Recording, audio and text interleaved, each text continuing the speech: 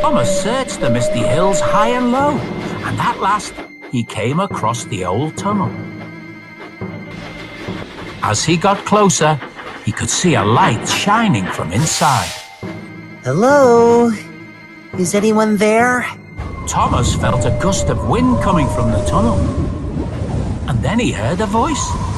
I am Proteus. It was Proteus, an old mountain engine. Legend had it that Proteus had a magical lamp. Proteus? I've heard tales about you. Wait! Your magic lamp! That's what I'm looking for! I I need it to help me find the golden hook. Then let this lamp guide your way. Then, as if by magic, the lamp appeared on Thomas's funnel. Wow! Thanks, Proteus! And so, with the magical lamp lighting his way, Thomas headed off.